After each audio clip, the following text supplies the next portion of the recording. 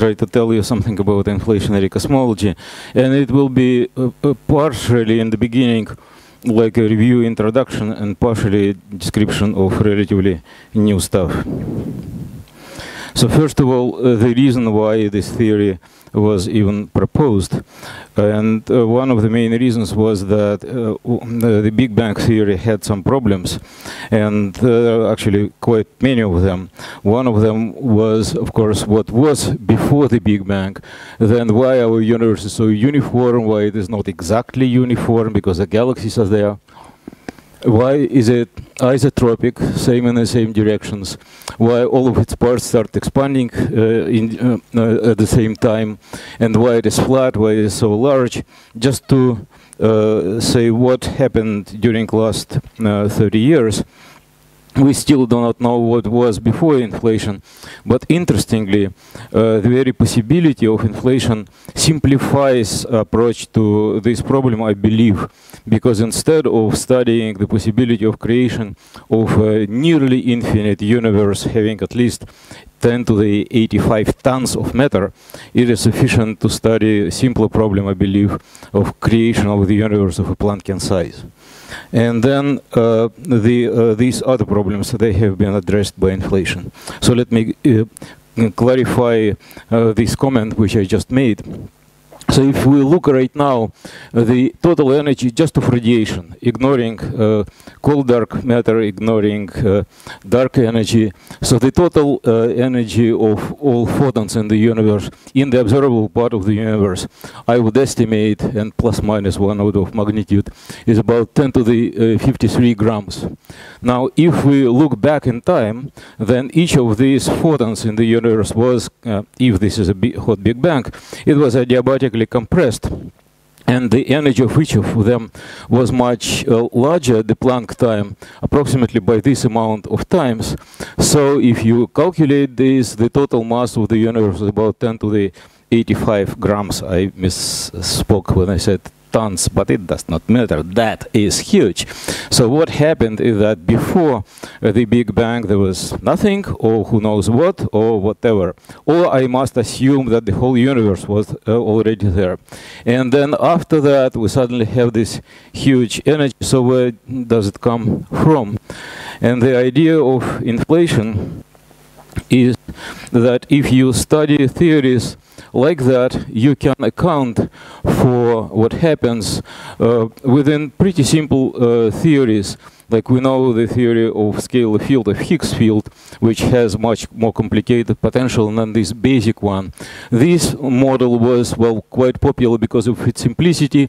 During last few years, this was ruled out and died because of, uh, its predictions of too large uh, amplitude of gravitational waves. But uh, once again, very recently, it was resurrected in the form of uh, alpha attractors, which Renata described described and I will also explain. So let's just start uh, pedagogically on this simple model and we will write down slightly simplified Einstein equations assuming that the universe is already almost flat because even if we start with closed and open and if there is inflation uh, it very rapidly becomes practically flat. And I also ignore here kinetic energy terms and gradient terms for scalar field because if inflation starts, they exponentially rapidly disappear. And this is equation for the homogeneous scalar field. And once again, I ignore right now inhomogeneities because if inflation starts, these inhomogeneities very rapidly uh, dissipate. So uh, this equation is similar to equation for um, oscillator with friction and Hubble term plays the role of the friction for equation for the scalar field. So if Hubble constant is sufficiently large, which is the case when the universe was young, then the scalar field tries to move very, very slowly as a ball in a viscous liquid, and the uh, whole logic of what happens can be described by the following uh, uh, well, logic. Um, large scale field means large Hubble constant, large scale field. You are upstairs in this parabolic potential. Large Hubble constant, large friction, the full scale field phi moves down very slowly. If it moves down very slowly, then it remains for a long time at the same height. Potential practically does not change. Hubble constant is nearly constant, and this is equation, uh, this is solution of this equation. So the logic is really very simple. Um, so what does it uh, mean for us? We may start with the smallest possible object because, well, we cannot uh, uh, right now consider objects smaller than a Planckian size. Uh, we cannot also consider objects more dense than a Planckian density, at least right now. And so let's start with the smallest object with the largest possible energy density and let it expand. Its initial size is that. Now, if we follow this equation of evolution of the scalar field, what happens is that during approximately 10 to the minus 35 seconds, this small droplet grows to this size and it really does not matter in which units whether it's miles or centimeters it really does not matter. Okay so uh, this means that we have an idea why our universe can become so large why eventually it can get as huge number of particles with this enormous entropy even if we start with the universe with no entropy at all. I mean you may start with the universe having zero particles in the big very beginning, it may have gravitational entropy of the order of 1. And that is sufficient for describe whatever uh, happened later. Origin of structure in this universe is known. Uh, the uh, possible origin is quantum fluctuations, uh, the theory of which is well developed.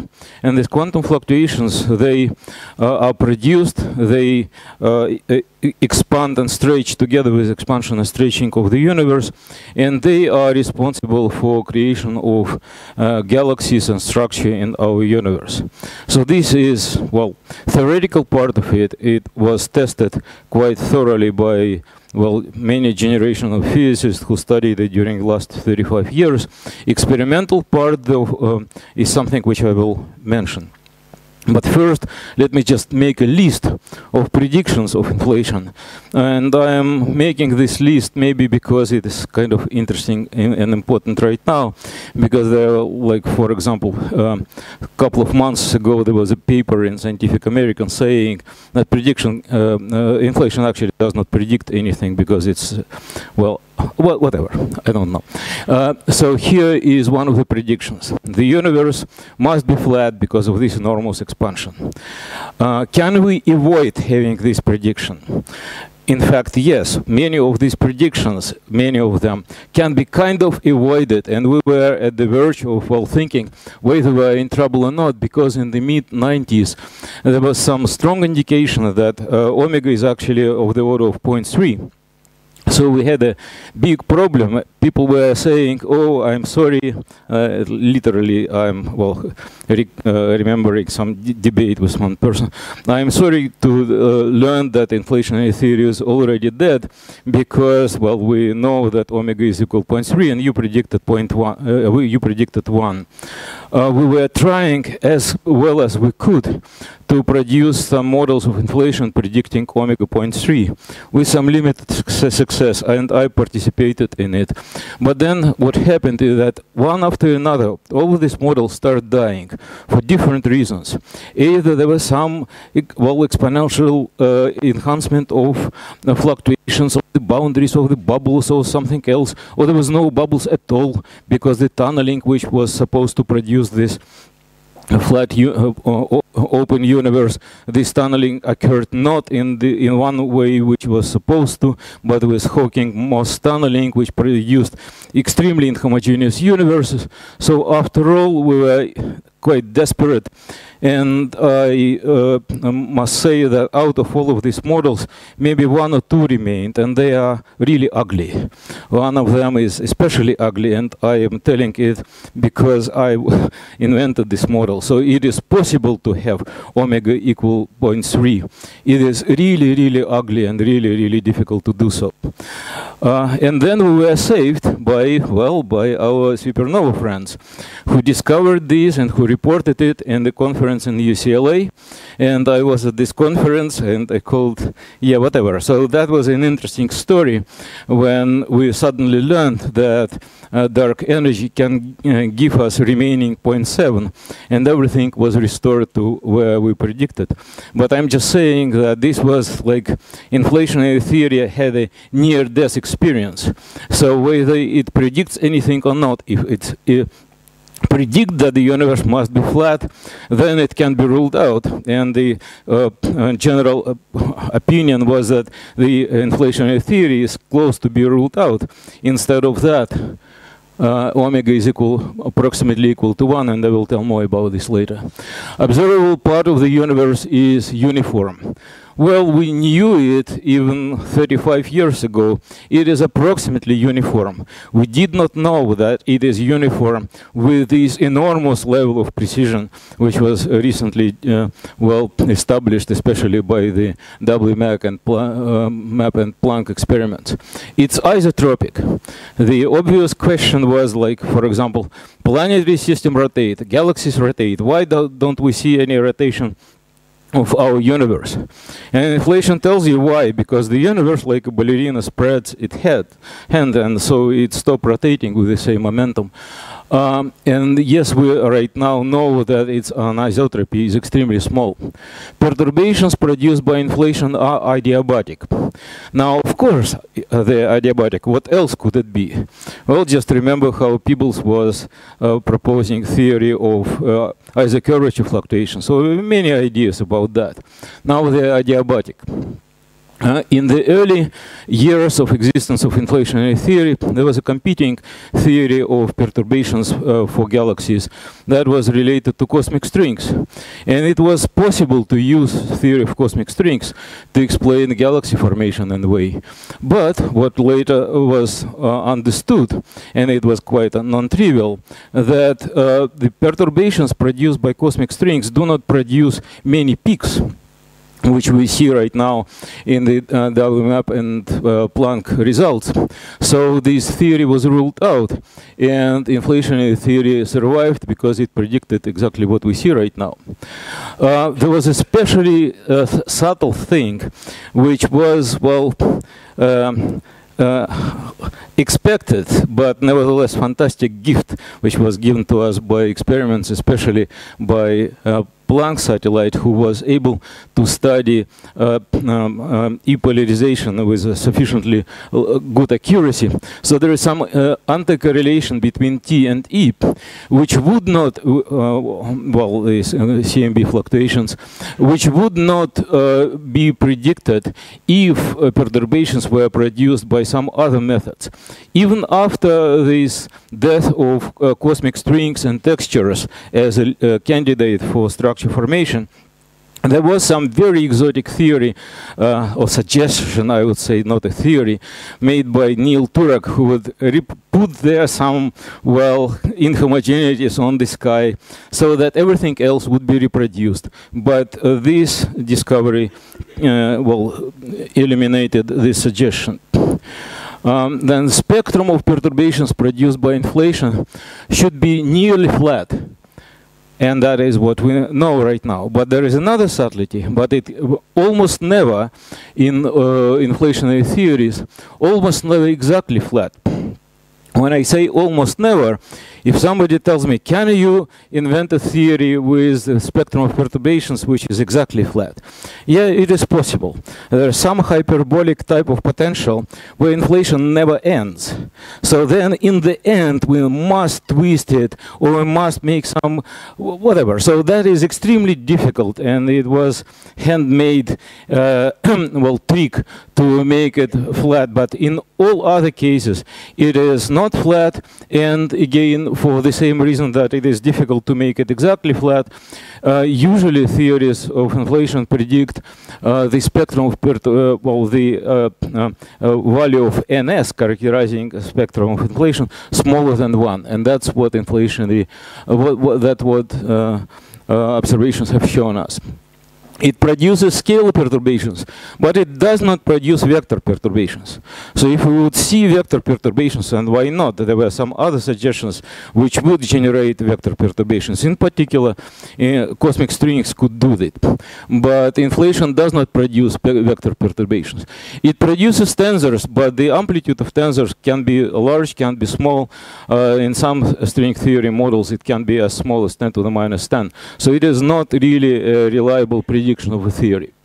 I mean, it is a reliable prediction, but finding this may be extremely difficult. Uh, that was that was a story which uh, imprinted in my memory in a very vivid uh, form, as vivid as this debate about omega equal one, and that was about non-Gaussianity because somewhere prior to the Planck uh, data release, it was, well, rumored that the perturbations uh, of specific type, which are uh, described by as uh, parameter FNL local, uh, these perturbations uh, lead to FNL local in this range, maybe uh, maybe 30, maybe 50, nobody knew, but these were results of nine years uh, observations by WMAP, and that is where it was. And prediction of all single field inflationary models where the, this quantity should be the one. So in the uh, 2010, 2011, 2012, all postdocs and students, they were developing models predicting large non-Gaussianity. And I myself tried to do something, and the models were extremely ugly.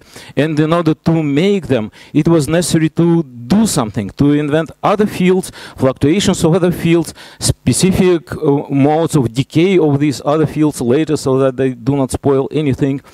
And th that was our situation. So we were waiting what Planck will tell us. And this was really uh, time like that. If Planck would tell us that yes, you have uh, FNL much larger than O the, o the order 1, then 99% of all inflationary models would be ruled out. So when somebody says whether inflation is predictive or not predictive, this was a moment when we knew that if we will not find it, then we will be well, we will find a way, but it would take so much beauty away from what we're doing. So this is Planck satellite, and this is the famous pictures that produce it. Uh, this is another series of famous pictures it produced. Okay, so this was a, about the E modes, and these were the TT spectrum, and this is EE uh, correlations. So what is important that all after all of these, these are well, this is a summary of most important results for me. Omega is one and this is accuracy. So instead of 0.3, this is what we have right now. Of course, maybe this is, well, how strongly should we take it, like this is really 0.005, or this is, uh, well, whatever. But that is big difference from 0.3. NS is uh, well firmly established that it is first of all close to ns equal 1 as predicted but also it is not exactly 1 and uh, these kind of estimates was uh, these kind of numbers were uh, given by Mukhanov and Chibisov in their study of Starobinsky model back in 81 so um, this is a very important and why it is important for me why this small deviation from 1 is so crucial well, there is a uh, very well-known uh, prediction of uh, QCD that the coupling constants in QCD logarithmically change with uh, uh, with the energy scale. So this logarithmic uh, change is what we see here also.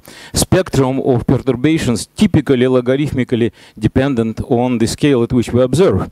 And typically it grows at the growth of the uh, uh, size of the, uh, of the scale of perturbations. So in QCD, this leads to uh, asymptotic freedom, and on the other side, uh, to quark confinement.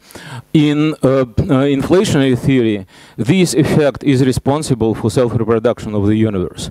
So if you have a spectrum continuing like that, with ns approaching to 1, but with ns remaining smaller than 1, typically there is some place where delta rho over rho becomes such, such scale, where delta rho over rho becomes becomes greater than 1. And this just means that our Friedman universe is Friedman only up to this scale. And further than that, this is, yes, this is the multiverse, okay?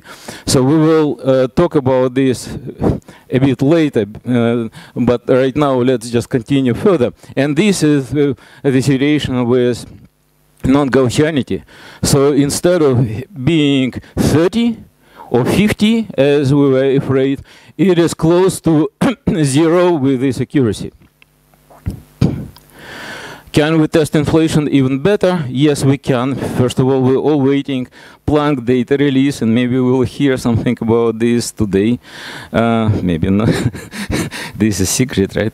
Okay. Uh, the second thing that we are looking for B-mode, study of the B-mode, so we will certainly await uh, what will happen in this area.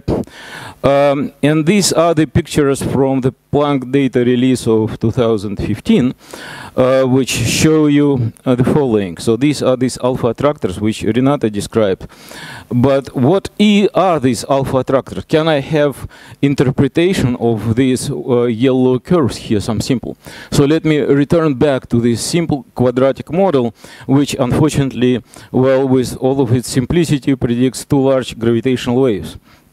So, um, and by the way, uh, the reason why I liked it particularly, because this uh, well, uh, amplitude of scale field uh, of potential reaches a Planckian density. If you start in the Planckian domain with a Planckian density and just assume that potential by, well, chance 50-50 is larger than the set of this kinetic gradient term, then inflation starts. So it would be a very natural way of starting uh, inflation. Uh, this model would uh, de describe Planckian data pretty successfully. And there is what we, you need. You just take this and multiply it by that. So it is polynomial of square, cube, and the fourth degree. This would give you potential like that. Three observables, amplitude of perturbations, NS and R. Three parameters of this model, M, A, and B you can fit any observational data by that. And this is not my invention. This was uh, done in the paper by these authors long, long time ago. They just played with these models and they found that they can cover just about everything. So this is amazing. And what is interesting about this model, of course, I can start it again at the Planckian density. So no problems with initial conditions at all but this is not elegant, okay? So we want to do elegant.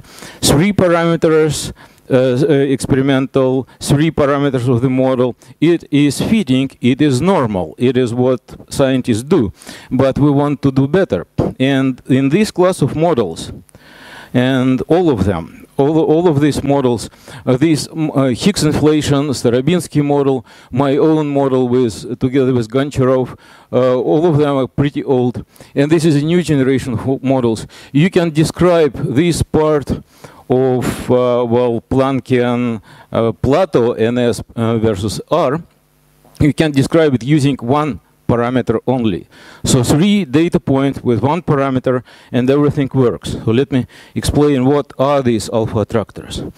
So let us start with this model and let's make one change here. And this one change is at small value of the field phi you do not do anything. Okay, same thing. But when phi becomes sufficiently large, you have a singularity in kinetic term. Okay, and then you decide, okay, instead of studying everything in terms of this field, I will switch to canonically normalized field. So I will solve equation d phi divided by this is equal to some new uh, uh, field, which is just d phi. And then this is uh, described by uh, this, uh, this canonical variable related to the previous one with this relation. And the potential becomes hyperbolic tangent. So at small values of the field phi, hyperbolic tangent is the same as this one. At large values, though, it goes to a plateau. Okay, so now uh, this is the set. This is interpretation of that, very similar to what Roger uh, described when he was talking about well uh, Poincare Beltrami disk. Uh, he uh, described it in relation to space-time geometry. This is in relation to the geometry of modular space or of the scale field space.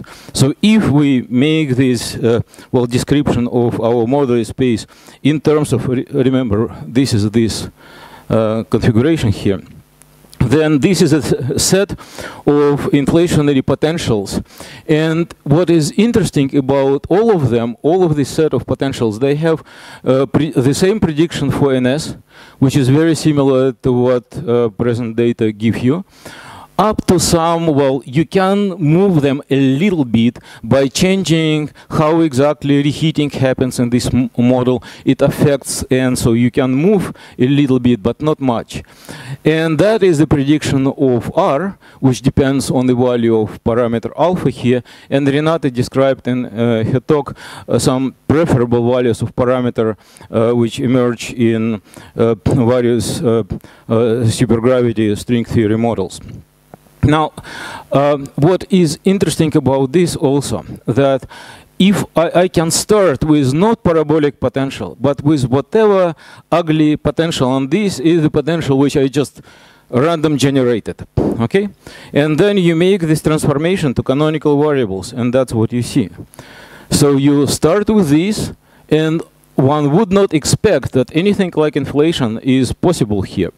And then after you make this transformation, then this potential here uh, um, uh, uh, acquires universal form. So it approaches uh, constant exponentially. And it does not depend on any details here. It depends only on the fact that this potential rises here. If the potential falls, then it falls like that and you approach anti-de Sitter space.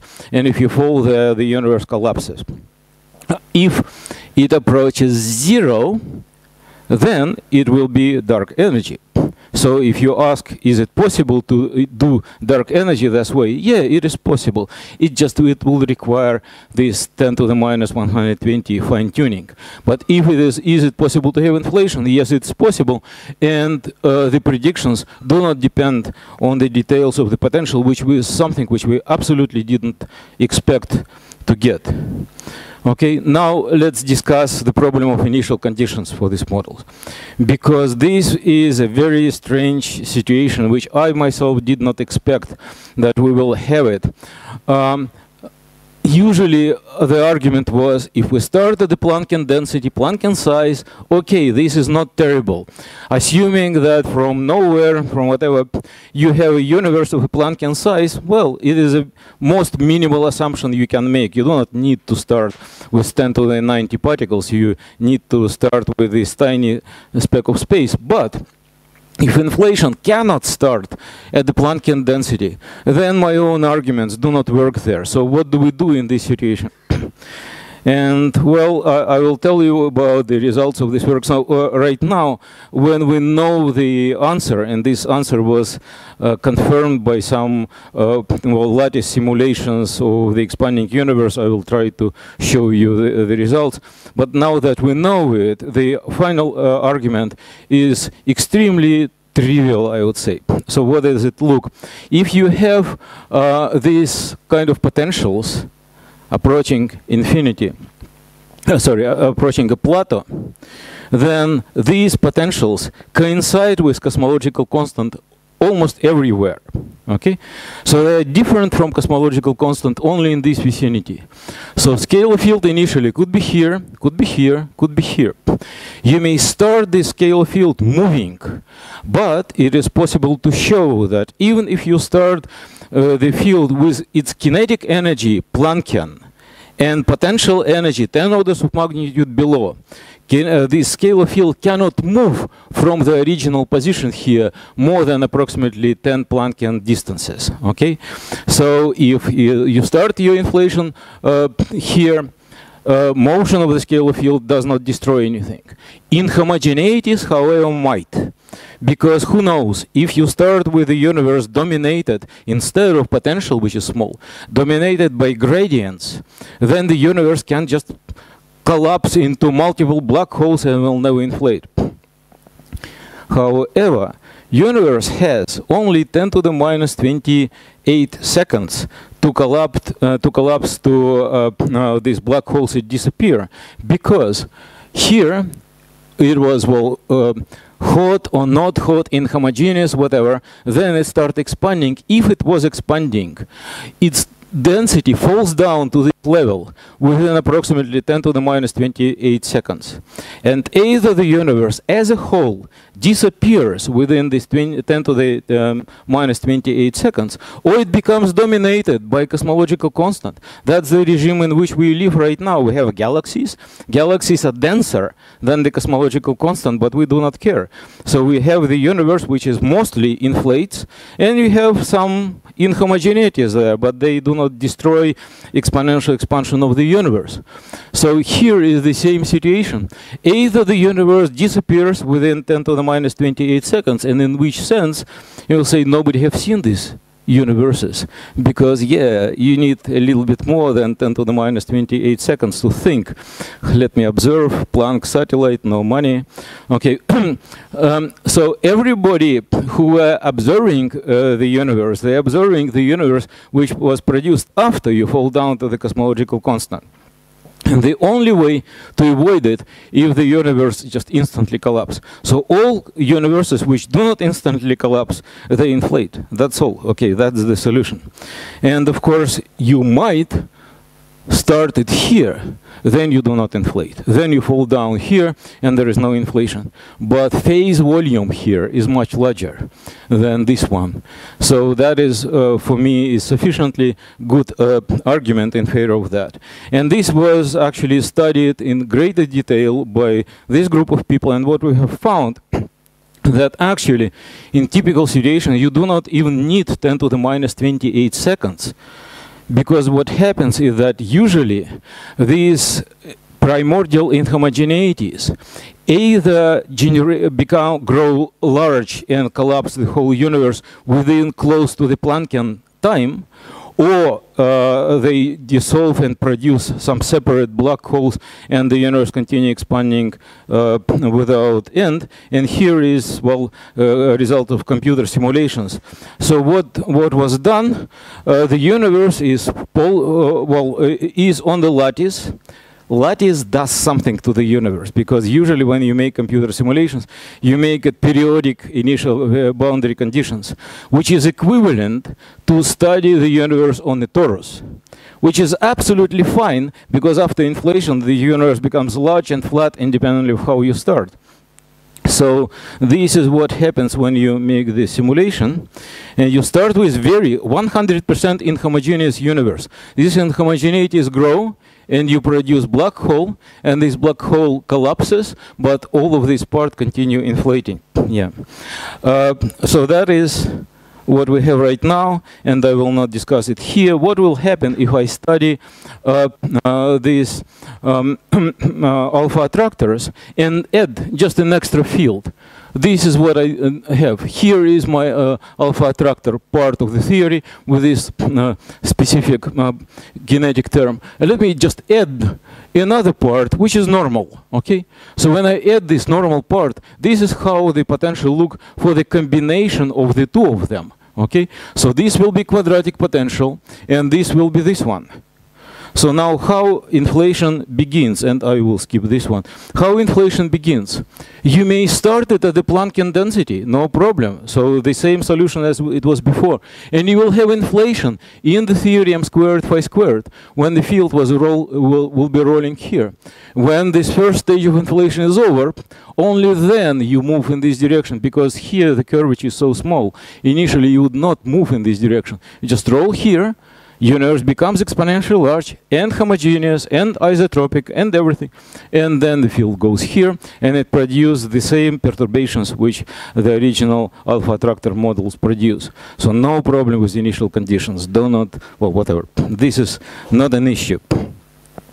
Now I'm coming to the last part of, uh, of my talk, and it's a quick reminder that all these perturbations, which are produced by inflation, they uh, will behave like Brownian motion. In every point, scale of field experiences jumps, but then exponential expansion of the universe stretches this perturbation to exponentially large scale. So it's like Brownian motion, which, however, may bring field up or may bring field down, and then you have exponentially large parts of the universe where the field phi is up or down. So here is about multiverse, right? Okay, but instead of talking about string theory, etc., I will talk about something really, really simple, and that is the theory of axion field. So axion field has, uh, well, sinusoidal, cosinusoidal potential.